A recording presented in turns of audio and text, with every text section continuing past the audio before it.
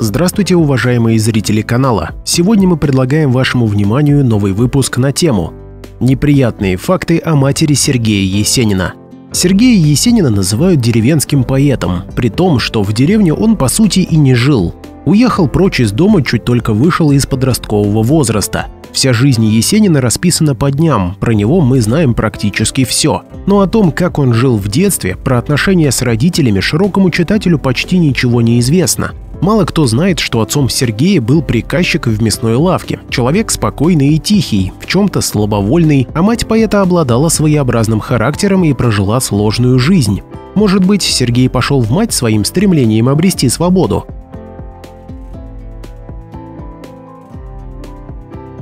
Девочка Танечка родилась в 1875 году. Ее родителями были зажиточные люди – Федор Андреевич и Наталья Евтихиевна Титовы. Отец был успешным предпринимателем, занимался рыбным промыслом, и у него были собственные баржи. В семье всегда были деньги, потому Танечка росла, окруженная красивыми игрушками и новыми платьями. Таня Титова была единственным ребенком в семье, потому отец души в ней не чаял, и все ее любили.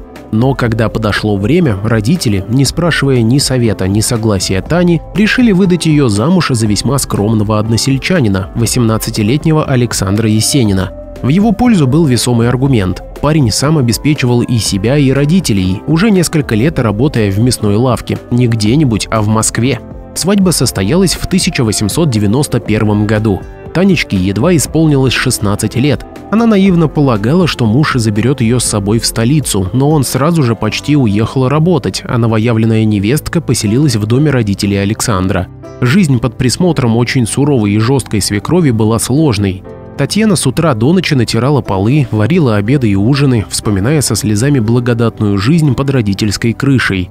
Девушка чувствовала себя ненужной и всеми покинутой. От мужа редко приходили весточки, а все деньги с жалования, отложенные на житье-бытье семьи, он по-прежнему высылал на имя матери, а не жены. У молодоженов долгое время, разумеется, по тем меркам не было детей. Наконец, через три года после свадьбы Татьяна родила первенца, мальчика назвали Петей, однако, не прожив и года, младенец умер.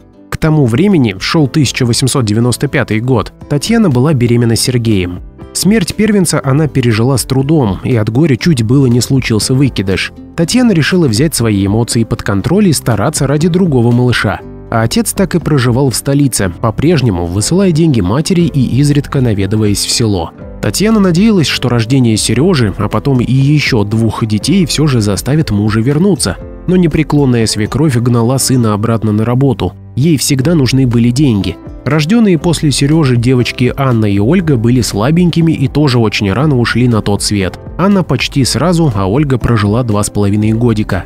Приезды отца домой особо в укладе семьи ничего не меняли. Во время своих нечастых появлений Александр предпочитал отдыхать. Он был белоручкой, с хозяйственными работами справлялся плохо и не спешил вступаться за супругу, потому свекровь как хотела, так и издевалась над невесткой.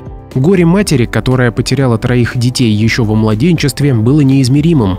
Однако в то время выживали только самые здоровые из младенцев, потому в народе говорили «так суждено, чтобы Бог забрал». Татьяна постоянно ссорилась со своей свекровью, переживала из-за малышей, муж появлялся в доме редко. Все это было сложно выдержать молоденькой еще женщине.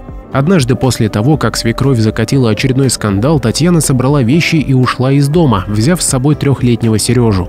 Ее силы и нервы были на пределе. Возвращаться обратно женщина не планировала.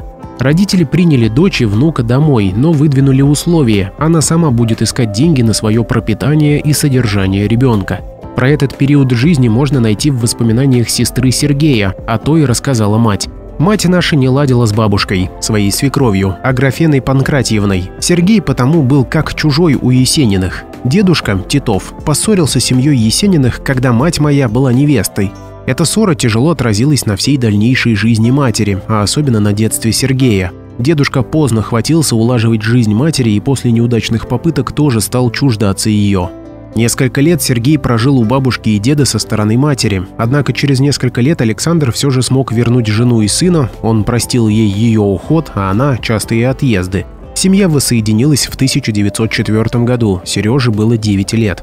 А через год у Александра и Татьяны родилась дочка – Катя.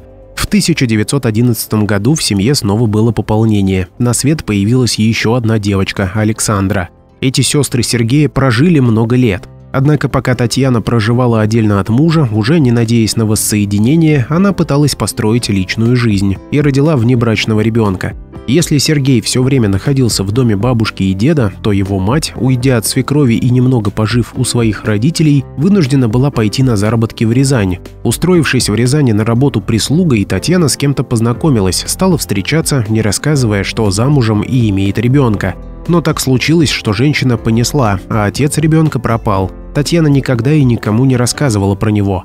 В 1902 году Татьяна родила мальчика, назвав его Сашей. Ей пришлось скрыть малыша, и для того она наняла кормилицу и воспитательницу. Саша получил фамилию и отчество от нее – Александр Иванович Разгуляев.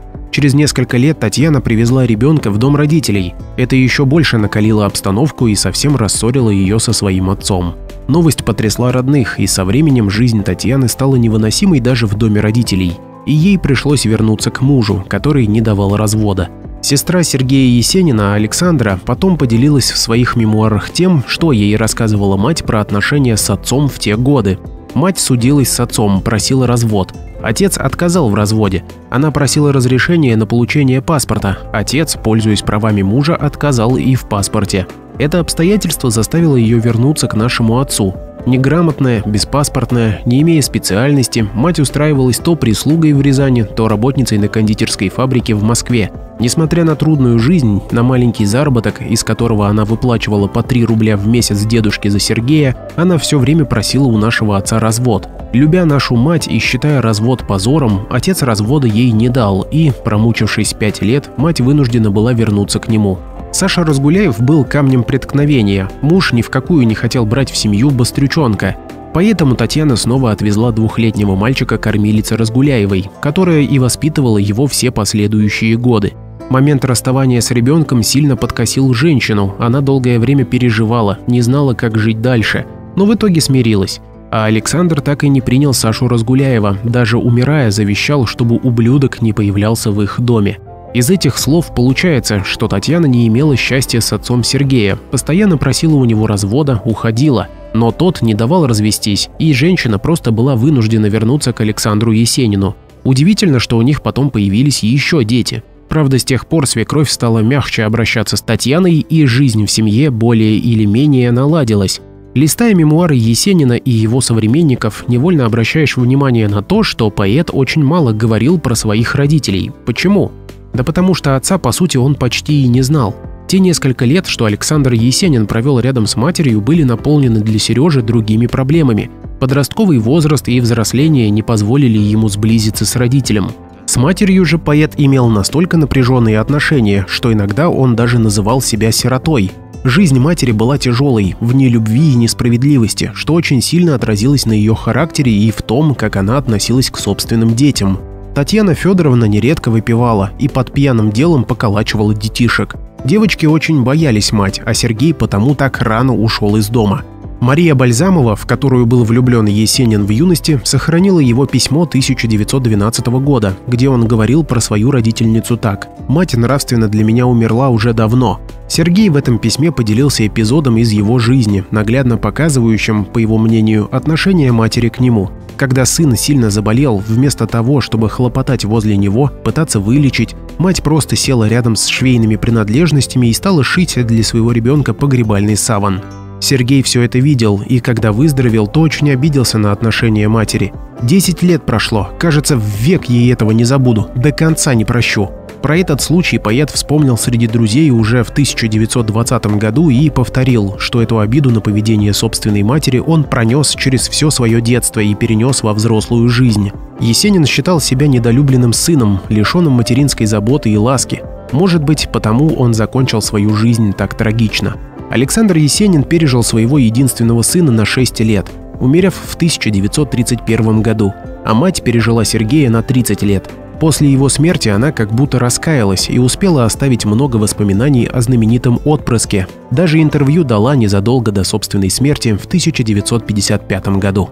Для того, чтобы посмотреть и узнать еще больше интересных фактов неизвестной истории России, подпишись на канал и поставь лайк. Мы постараемся донести до каждого зрителя настоящую неизвестную историю России.